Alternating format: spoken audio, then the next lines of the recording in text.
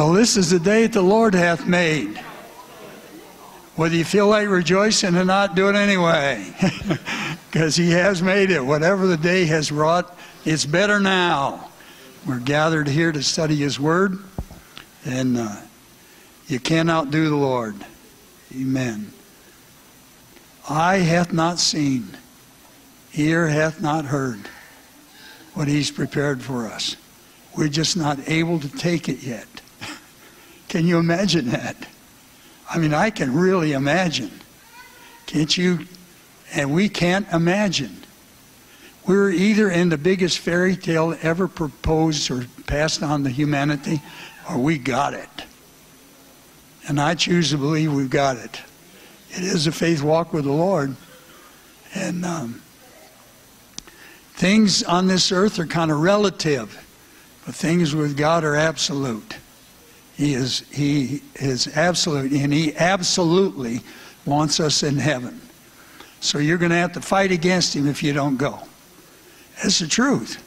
Now, how He's doing with all these billions and, uh, of people and that, I can't even imagine. And I'm a numbers guy, okay? And not the kind of numbers that some of you are interested in before you came to the Lord. Brother Moss got it. and uh, but anyway, it is amazing. It's amazing. You realize that the world is saying it is a weak crutch to have faith in God. Well, you know what they're doing. They're putting their faith in something that isn't God. You cannot live without faith in something. Amen. You do not have the choice that you don't have to have faith. It's just a matter of choosing where you're going to put your faith. And um, and He's an awesome God that He has brought His Word to us and continues to bring it through His Spirit. And you can make it if you want it. And just like the pastor down at Grace Chapel down in Eastern Shore, Maryland, after that service, when his wife, this was the pastor's wife, and two other ladies had received the Holy Ghost, got up in the pulpit, jumped up and down, and I, if I do it, I'll hurt myself okay, jumped up and down and said, if you didn't get anything today, you didn't want it. And uh, so it's awesome what the Lord's doing. And so, because we are in the Lord, we had a great day. We had a great day because we're in the Lord. It's going to get better over there because these bodies are going to get better. And um, but we're glad you're here. Steve and Regina are about I don't know how many hours out of London. They are out of Nigeria. If you've been praying for them, they made it out. but anyway, I'm laughing about it. But it's 170 million people in the in a land just a little bit bigger than the state of Texas. Just think the East Coast here is 50 million, three times the East Coast here of the United States. And they're just two missionaries, and of course, they're training leaders and teachers of the Word of God as fast as they can. And this congregation has uh, contributed to it, but we're going to contribute more to it in training their teachers because of Steve's degrees. They recognize, the government recognizes that he's credible to train people to be uh, accredited schools. And so it's a plus, you see. And so we're a part of what's happening in Nigeria, not just with our financial report, our financial giving every month, but also contributing in that fashion. So keep praying. They arrive safely tomorrow. And uh, uh, any special needs? Brother John. Amen. Other needs? Sister Betty.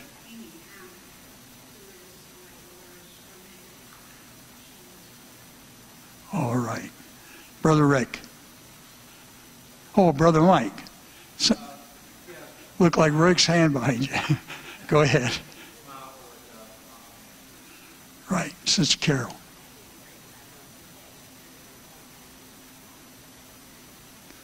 Pray also that when you're praying for cancer, pray against the spirit of cancer. Now, I'm not trying to be spooky about all requests.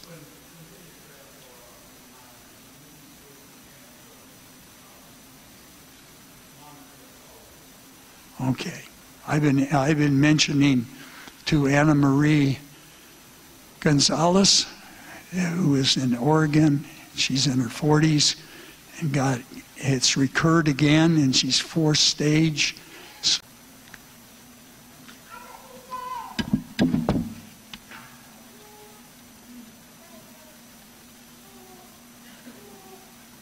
Let's ask God's blessing now. Lord Jesus, thank you for the opportunity of giving. We know you.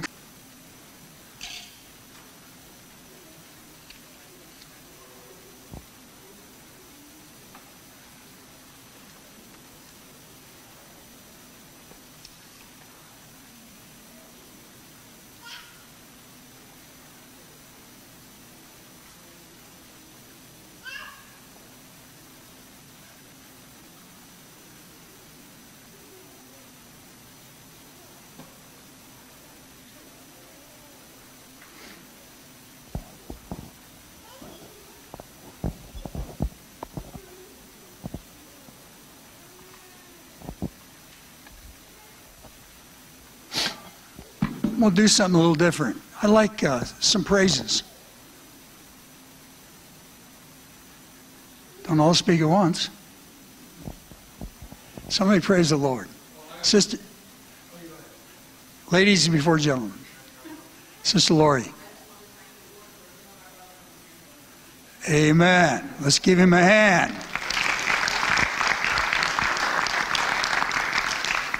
Arash.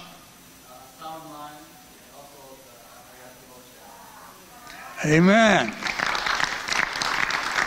Amen. Brother Mike.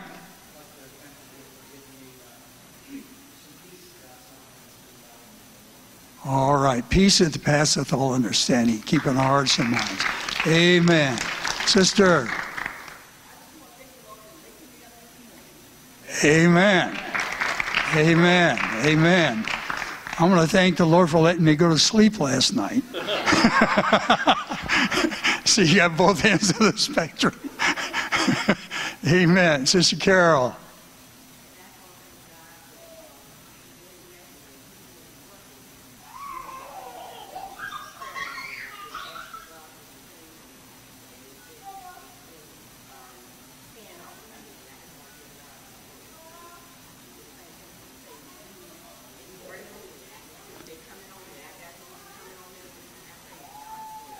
Amen. Amen. S- Sister Iris. His love. Amen. No one can love you like Jesus, Brother Wayne. For his word. Amen. Sister Sherry. Amen. Brother Joe.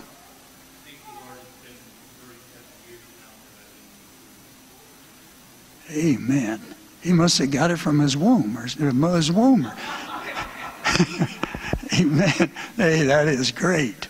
That is great. Amen. Anyone else? Anyone else? Amen. Acts chapter 13, verse 22.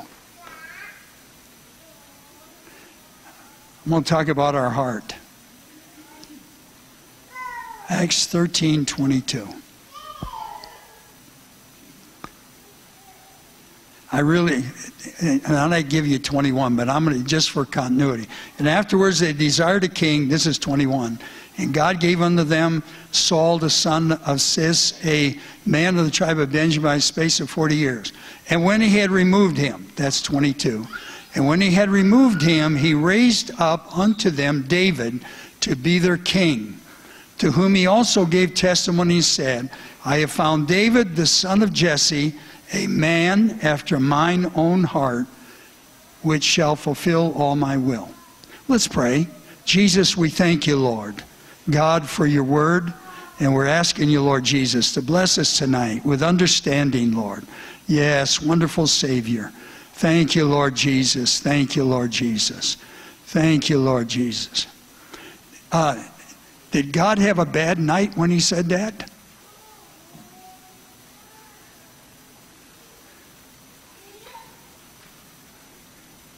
The guy hanging out at home, not in the battle. then gets tempted with another man's wife and eventually has the man killed. Man after God's own heart?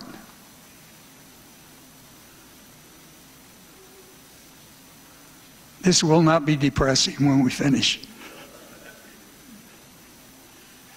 What, what's God saying? What is God saying?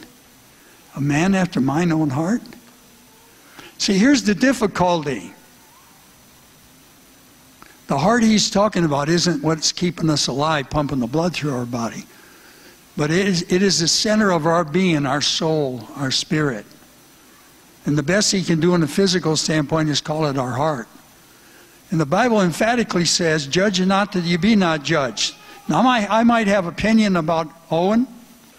I might be right and I might be wrong, but there's one thing I cannot judge his heart.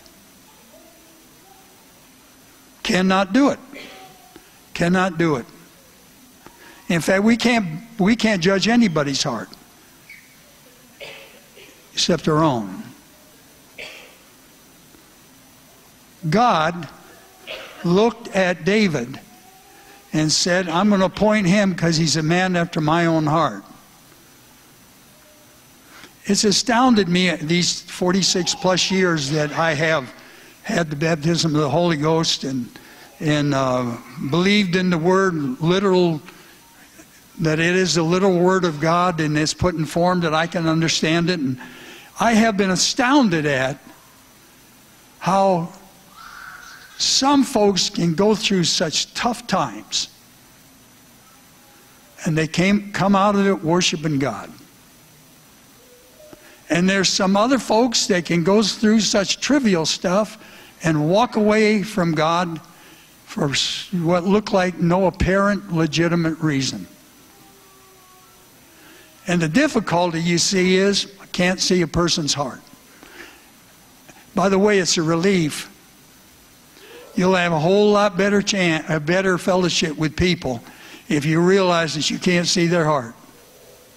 Now that doesn't mean because you can't see their heart that you should fellowship in things that bring conviction to you. But literally, you cannot see a person's heart. You do not know their heart. And God makes this statement here related to David that this is a man after mine own heart. And yet, what I stated to you was, you know, David's father didn't even care enough about him that when Samuel was sent by God to anoint a new king because Saul had failed, that David wasn't even considered as one of his sons. Wasn't even considered. In fact, David wasn't even respected very well, I just said to you, by his own father, let alone his brothers, that when he comes to bring them something to eat and to check on how it's going with the fight against the Philistines, you know, they rebuke him. Even when he's going to take the challenge of going against Goliath. David, at one time in his life, was running around with several hundred uh, outlaws. What did God see in David? God saw in David that when David got in a jam, he didn't blame God, he didn't blame the people around him. He took responsibility for himself and what the consequences were. And God has seen in David a flawed person like every one of us. And I'm not here to justify sin or you doing wrong against somebody or yourself. But I'm here to tell you the reason God tells us that we best not judge one another or we're going to be judged because we cannot see the heart. And you see, the scientific training that I went through just naturally, I'm talking about related to business and related to rockets and, and things. The scientific training, you know, that part of my brain tried to figure out what is it about a person that they're going to be receptive to the Word of God and they're going to reach out to God so that I could figure out how best to bring the Word of God to somebody, and I've had to surrender because I cannot see the heart. But what we can realize is God does see the heart. And that we don't have to worry about somebody else's heart. We need to be concerned about our own heart. But the fact of the matter is, God made a proclamation towards David that if we would have judged David, said David failed. That David should have been an outcast. Now, David had consequences for what he did, and God didn't condone his misbehavior related to wife, related to child. When push came to shove, and the servants were scared to death to come and tell this father that his child had just died, David washed his face and worshiped God. Sword never left his household. He didn't blame God. So I'm here to tell you tonight that all of us have consequences of sin. And you can make up your mind to condemn yourself or justify yourself or just plain forgive yourself as you turn to God and realize He's a God that's looking at your heart. Create a clean heart within me, O God, and renew a right spirit, David prayed. So it really is, since Calvary, it really is a personal battle. It really is, even though we fellowship together and we minister to one another and we, we're, we're family and we're family of God and we're helping one another. When push comes to shove, it's you and Jesus. And you're going to make mistakes. I'm not saying, I'm not standing here and telling you and encouraging you to, to go out and try to do something wrong and see if God forgives you or not. There are consequences of the mistakes of life. We live with those consequences.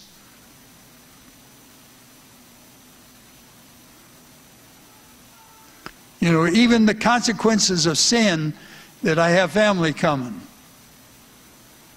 And at a very young age, there was major pressure because of consequences of sin. But you know, push comes to shove when I look at those four nieces. If it hadn't been for my dad, they wouldn't have existed. I'm not justifying the sin, I'm telling about the benefit that here's four human beings that are absolutely astounded that they have Uncle James, let alone that he's a Pentecostal preacher. When I went to nephew James's funeral, Stephen, Regina, and I. And we stayed in the Embassy Suites. The two of them, Jeannie and Lori and their husbands, found out we were staying there and they moved.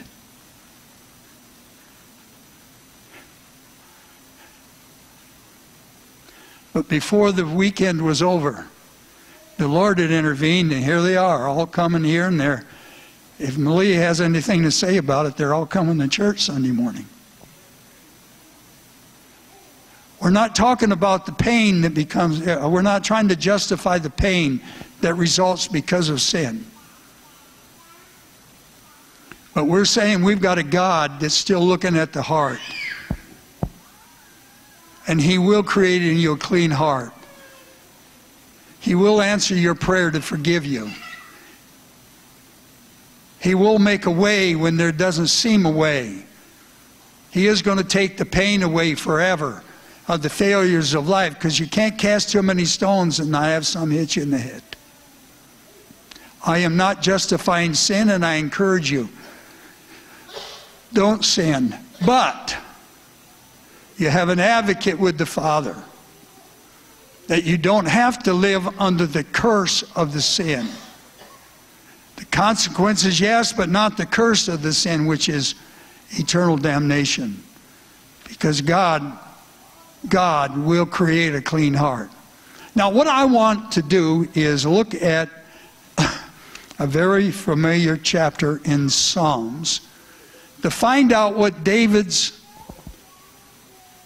what David's heart was like see what we can find out from Psalms 23 how David, who was this guy that messed up and had difficulty. Yes, he had justification, you say, because he was rejected by his own family, his brothers, his dad, and so on. But the only one that hurts out of that when sin comes in, not, not is the person who has compounded the hurt. So let's look at Psalm 23 with the idea of seeing if we can get a glimpse of David's heart. And if we get a glimpse of David's heart, can we decide that that pattern of his heart, that what God looked at, and he looks at each one of us independently. So you realize everybody's welcome here. When we come with our hang-ups, we come with our past, we come with our personality, we come with our life, just seems almost impossible, you see, that God really welcomes us. Now, David made a declaration starting off Psalm 23, and this is verse 1, hopefully behind me. The Lord is my shepherd. What a bombastic statement. What right did David have to say that the Lord was his shepherd? that he was taking care of him. What was crying out from David's mouth when he said, The Lord is my shepherd? It wasn't the disappointments and failures and, you know, the loss of a child because of his sin, the loss of a good man on a battlefield because of his sin, future loss of, you know, Absalom, Absalom, my son Absalom. But he never accused God. What he made the declaration is he made a declaration that he encourages every one of us. The Lord is my shepherd. No matter where I'm coming from, I can declare before God because He's no respecter of person. Even though our circumstances, every single one of us is different. I can declare unto the Lord, the Lord is my shepherd. Now, how He's going to shepherd me is going to be a lot different than what he, how He shepherds you, but He's going to shepherd us. He knows how to do it just right. He knows our heart. He knows. Because, see, the mind can't cry out that. The heart has to reach out to that. Because the mind says, What right do we have to call the Lord our shepherd? Anyone here feel deserving to have the Lord be your shepherd? Really? You say, well, I'll pick up all these bad people around that, you know, socially aren't acceptable and stuff, and you know, but you know, he wants to be their shepherd too. But how can we say the Lord is my shepherd? How could David say the Lord is my shepherd when he so miserably failed? The baby died because of David.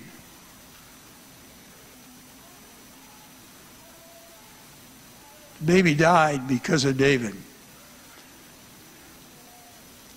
Uh, this is going to sound kind of strange, but if you cooperate with me, have you ever had some jerks in your life? The rest of you haven't? Don't just nod your head. Get your hand up. you ever had any, any real jerks in your life? Now you say, well, that's awfully judgmental. Well, they sure made it miserable for me. Yes, they did. Yes, they did. But in spite of that, we going to blame God for the jerks or are we going to say, The Lord is my shepherd? The Lord is my shepherd. How can we make that claim? We don't make that claim when things are going really well. We're going to make that claim. We need to make that claim when things are not looking so hot when we're misunderstood, when we don't know our path, when things are happening to our body, our minds are having struggle in that. Can we make the can can we have the foundation? Can we can we as like David did, like David did, a man after God's own heart, can we have a heart so anxious for God that we realize how bad we need him, but we're not going to let anyone shepherd us but, G, but Jesus. The Lord is my shepherd. Now, I can promise you that your own mind is going to argue with you. Your own spirit is going to have a wrestling match with you about it. They'll remind you, you see, or even outside spirits will remind you, or even outside people will remind you what a jerk you are at times.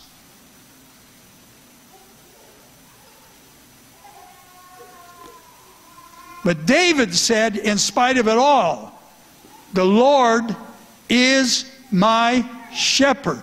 Foundational. What can separate me from the love of God? And list, list all that stuff. Not if, like David said, my heart is fixed, O Lord, my heart is fixed. Anybody had anything really unfair happen to you in life? I mean, it was. It didn't take any any analysis, anything. It, it was just flat unfair. Unfair. The Lord is my shepherd. The Lord.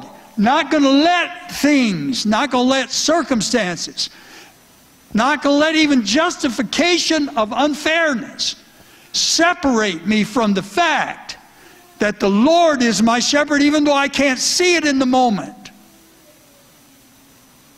Can't see it in the moment. And David, you see, had a heart that God saw that when push came to shove, he was going to let God be his shepherd. Rejected by family, rejected by siblings, rejected by the previous king, rejected by son, My heart is fixed, O Lord. Now, you don't know if it's fixed or not until it gets tried. You going through something now that seems unfair? Nobody understands? The Lord does. Say, why doesn't He fix it? Well, why don't you ask Him?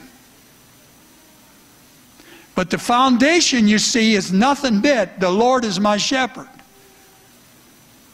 Now, I can promise you for one half hour until we leave, I could keep going on with this thought. the Lord is my shepherd. But I got five and a half more verses to go, so we're not done yet. You got it? The foundation. What's, what David said no matter what happens, no matter how much somebody does me or I've gone wrong, my heart is fixed. The Lord is my shepherd. Not turning over my life to anybody else. The Lord is my shepherd. Not turning over to another human being, some false gods or money or anything else in this world. The Lord is my shepherd.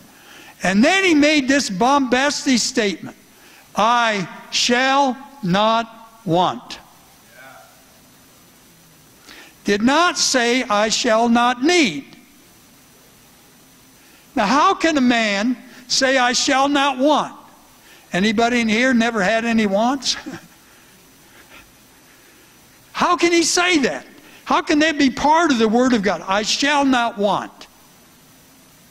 Because what happens is, there's my wife's favorite verse, and I probably butcher it trying to quote it, but delight yourself in the Lord, and He'll give you the desires of your heart. Delight yourself in the Lord. You know what happens when you delight yourself in the Lord? His desires and your desires match up. Now, I understand. Well, that's just a fake Christian principle of trying to justify bad. Baloney. Delight yourself in the Lord and you give the desires of your heart. Because the desires of your heart become His desires. When you're walking with Him, he doesn't change, you do. And it isn't bad. And He's so patient. So patient. So that we can realize I shall not want. I'm talking about God's evaluation of a person. When he are you going to give him a heart that's fixed? It's your choice. Nobody can nobody can take it away. You can give it away, but they can't steal it from you. No matter what the circumstances of life or how unfair they've been, or, the, or uh, and all the justification under human logic. My heart is fixed, O Lord. I shall not want. I shall not want. Verse 2 He maketh me to lie down in green pastures. You know what I found? I, I, I, you probably know this, but I'm a risk taker. I'm not afraid of anything, John. it's true. I'm not. Now, my body's letting me down a little bit now, where it wasn't before. All right, I'll admit that to you. But I'm still risk taker. Risk taker. I shall not want. He maketh me to lie down in green pastures. You what I recognized? The scripture that says, Be still and know that I'm God. What do you mean, be still? I got all this pressure. Where's it coming from? Probably internal, maybe some external. It's amazing what the presence of God. Your circumstances haven't changed. It's like the person that came a number of years ago into my office and said, I got a problem. I said, What's the problem? He said, I don't have any friends. And I looked at him, I said, Well, I'm not much, but I'm your friend. and it was true. I thought it was. They hadn't considered me, Peter, that I was their friend. Now, again, I wasn't much. But Okay, he maketh me, he maketh me. See, if he's your shepherd and your heart is fixed, he'll make you lie down in green pastures. And he's going to lead you by still waters. I say, well, that, that's Pollyanna uh, theory. That's Pollyanna gospel. That's, you know, not facing reality of life. Oh, the peace of the Holy Ghost. Oh, the presence of God. That plane's just passing over, it's not landing. It's landing at Philly. They come this way sometimes. so, what happens in the midst of whatever the trouble is, if you let the Lord be your shepherd, the Lord is my shepherd. He didn't even ask God permission for to make that statement. Do you realize that? God wants you to declare that He's your shepherd. Well, preacher, you don't understand the things that have happened to me in life. It's hard. So what? It's your choice.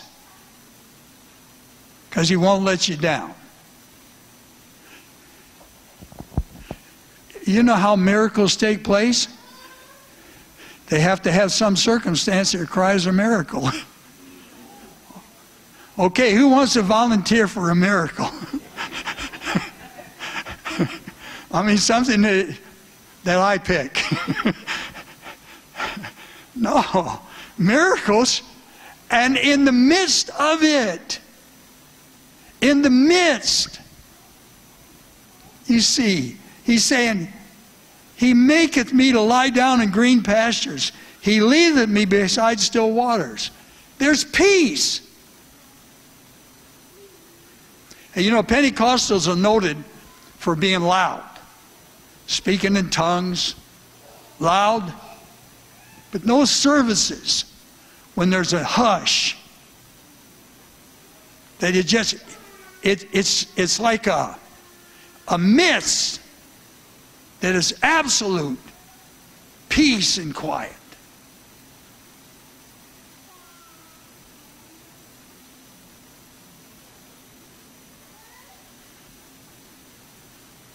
It's Him.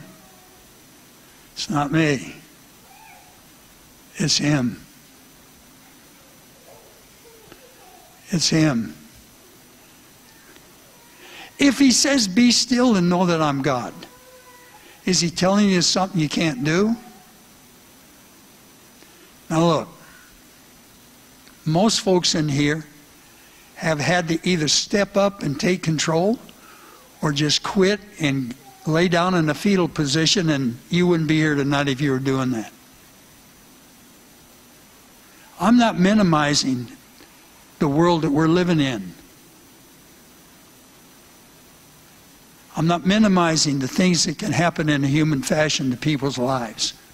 I am not minimizing the heartbreak that ha- He restoreth my soul.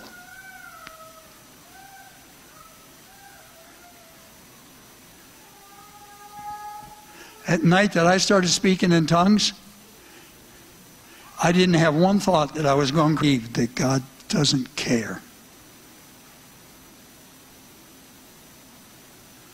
If it had lasted more than a few minutes, I couldn't have stood it. He grieves for those that are far, far from him.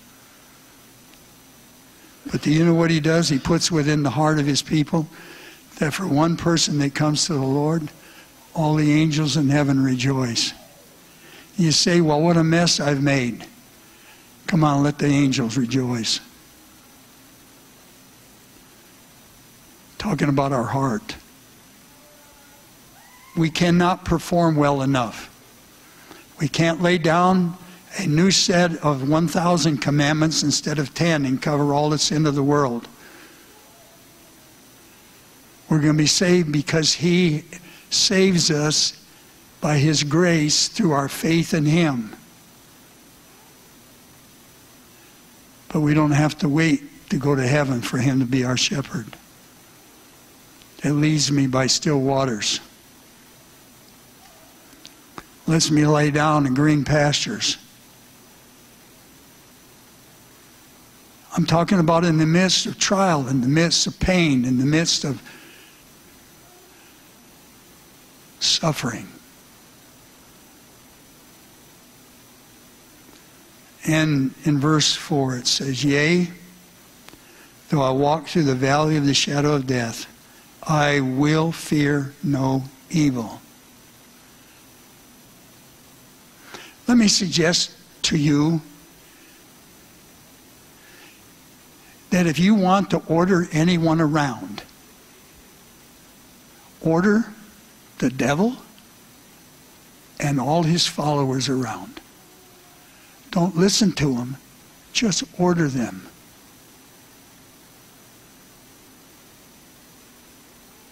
And then turn your back on them and forget them. Now that sounds like South Lansing hoodlum.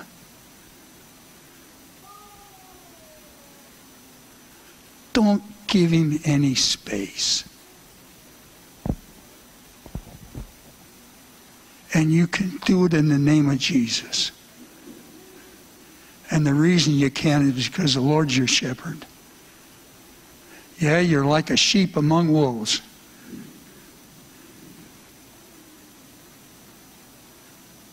Yea, though I walk through the valley of the shadow of death, I will fear no evil, for thou art with me. If you hear a voice in your head saying that God's not with you, that He's rejected you, you know you're listening to a spirit that's not God. I will never leave you nor forsake you, He says.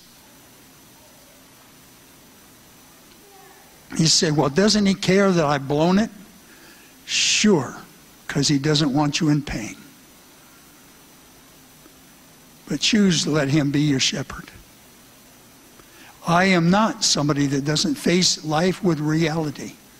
I just happen to know about the presence of God when he's your shepherd of what can happen in the midst of major struggle. He said, For thou art with me Thy rod and thy staff, they comfort me.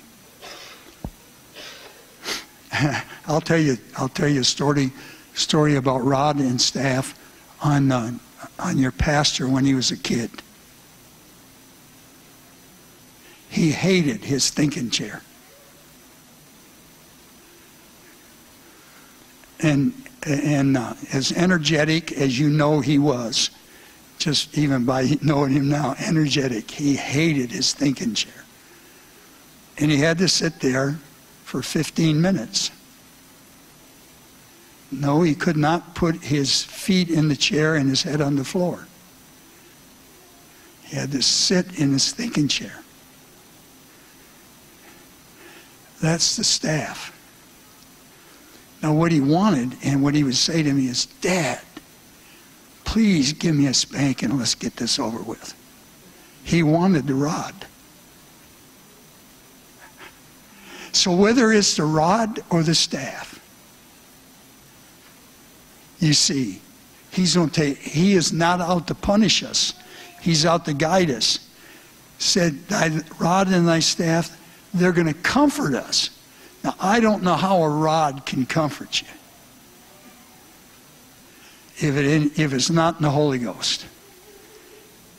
I'm talking about making a de- declaration tonight and forever. The Lord is my shepherd. Let your heart be fixed. Let your heart be fixed. Thou preparest a table before me in the presence of mine enemies. Sure, that's where I want to eat. oh, yeah, I like being around people that don't want to be with me. Can't wait till it's over and they can go home. Thou preparest a table before me in the presence of mine enemies. In other words, what is happening is you become an irritant.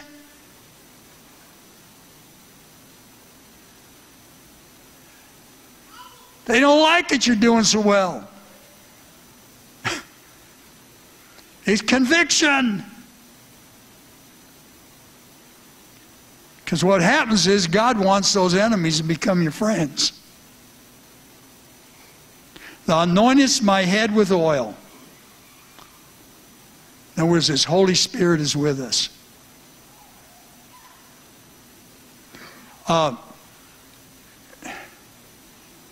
I'm going to ask Did anybody have a perfect day today?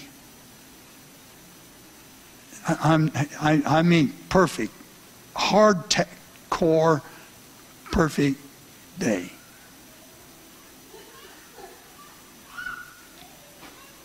Um, So, where was God when you weren't having good time? He was there. He was still your shepherd. Still your shepherd. Thou anointest my head with oil. In other words, His presence is not going to leave us. He's there 24 7.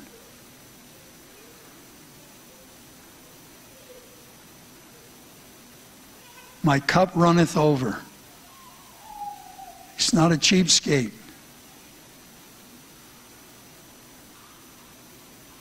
And then he says, Surely goodness and mercy.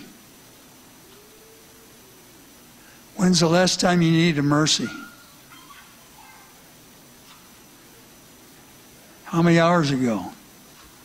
Not days. Could be right here in the middle of this service you wanted to get over with. Mercy, Lord. Surely goodness and mercy shall follow me all the days of my life, and I will dwell in the house of the Lord forever. What a declaration. He starts out with a declaration The Lord is my shepherd. He didn't ask him to be a shepherd, he said, The Lord is my shepherd. Now, God is talking about David. That's, a, that's somebody who's got a heart like God's heart. No matter what's going to happen to me, the Lord is my shepherd. The Lord is my shepherd. Surely goodness and mercy is going to be following me all the days of my life. And I'll dwell in the house of the Lord forever. How can you make that statement? Your heart. Your heart's got to rule your mind. And I'm not talking about, you know, the 18 year old that's fallen in love for the first time and says, I just can't help it. Uh-uh. God is looking for hearts that are fixed.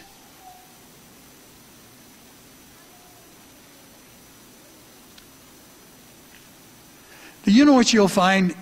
You won't have to go outside the kingdom of God, the, the church. You won't have to go outside the fellowship of God's people to find an excuse to just leave. Will not have to. I'm not trying to just justify us, but, you know, Owen and I know, not just because we're old, that we, that, that we need God. Not to just get up in the morning. We need Him then too. You know, at our age, we don't have any trouble waking up, do we? Staying up. what happens, you see, is that life is life. And what's going to be the center of your life? What does your heart have to say? Are you trying to bargain with God so that, oh God, just if this or just if that? How about the Lord is my shepherd? And a man that absolutely broke the Ten Commandments became a man after God's own heart. So we've got a chance. But we have to get our heart fixed on God. Finishing with this. I said it in the beginning. Your heart is between you and Him. If you let somebody affect your heart, it's still between you and Him. No one can steal you from the kingdom of God. Your heart is between you and Him. The Lord giveth, the Lord taketh away. Life is unfair. Life is a bust at times. The Lord is my shepherd. The Lord is my shepherd.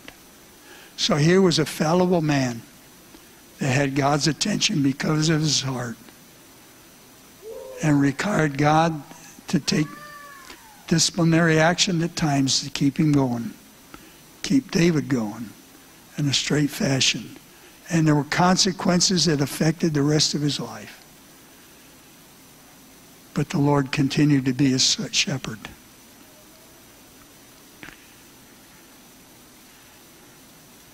Are you going to go out and sin just to see if you get the mercy of God? God forbid. You won't even have to try. You're going to blow it, and you won't even have to try. But if your heart is fixed, your heart is fixed.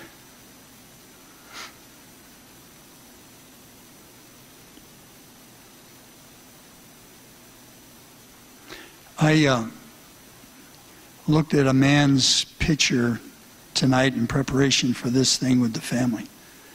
And uh, man, I wish I had his looks, Owen.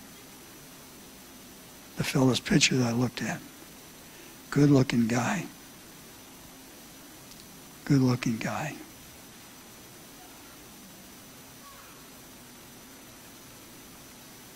My father.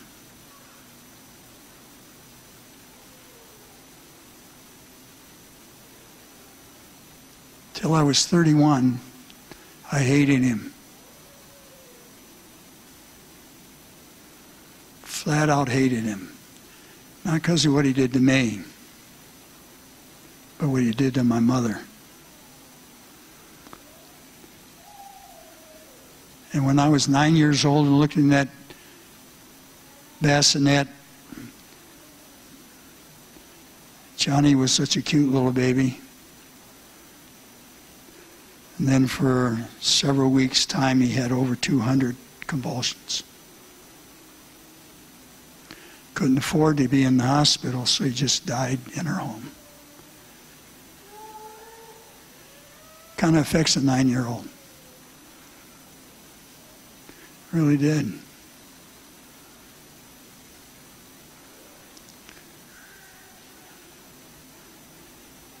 And two years from the day, the exact day, we get notice that my father has had an automobile accident and killed.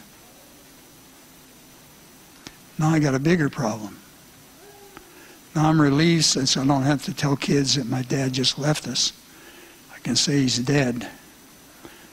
But now I've got a problem because I wanted to grow up and show him he was wrong. Say, man, I better find a new church with this guy in the pulpit.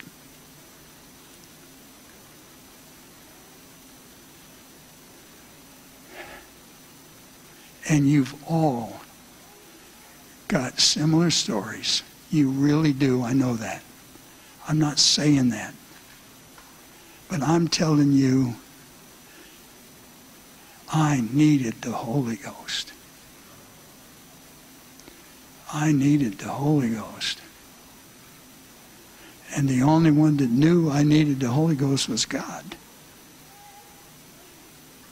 I'm talking about the Lord becoming our shepherd.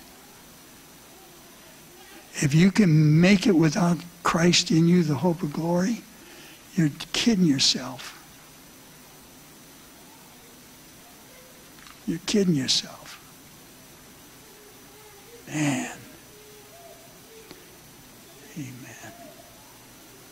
The Lord is my shepherd.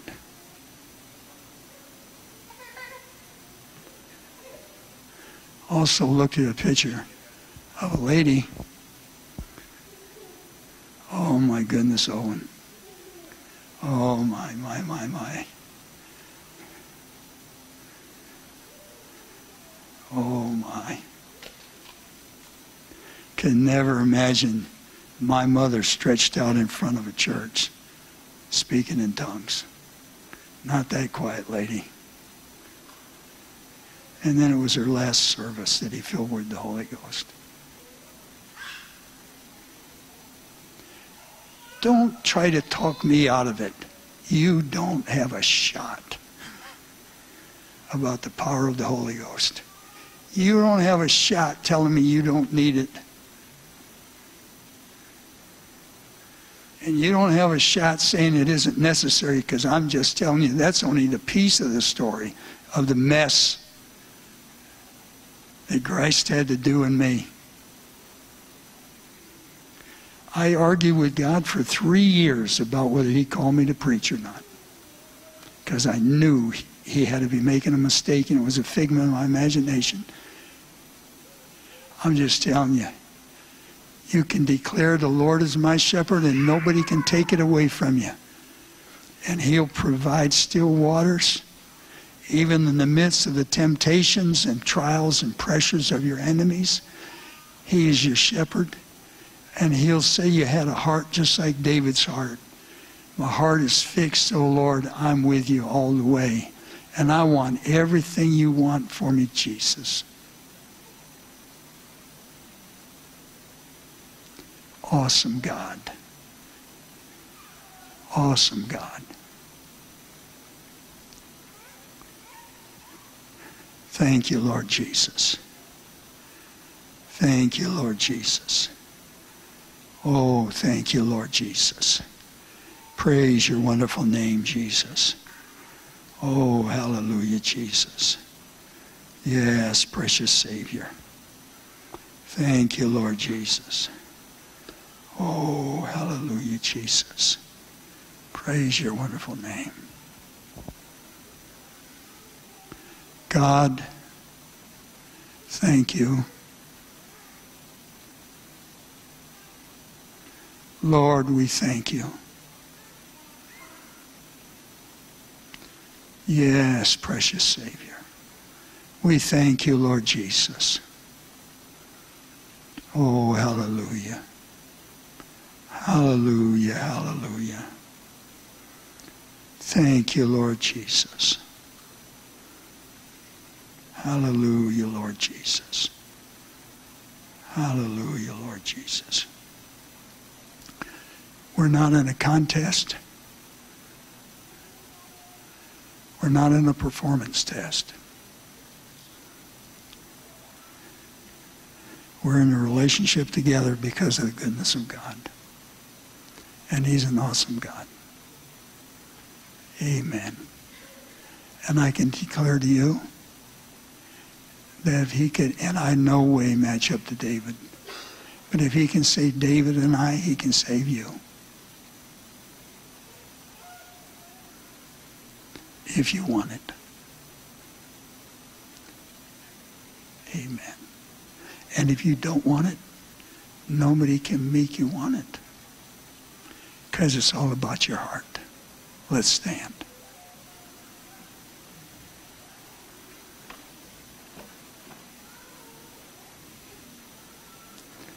Oh, we love you, Lord Jesus. We love you, Lord Jesus. Claim us as your shepherd.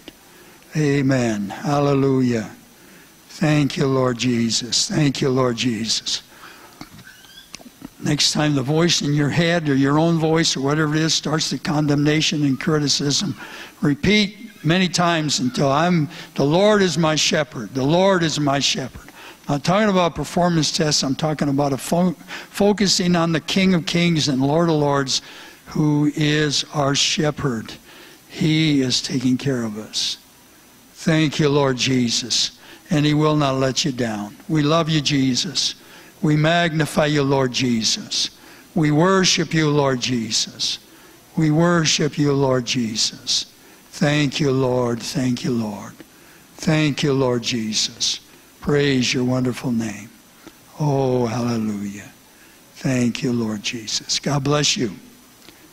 See you Sunday.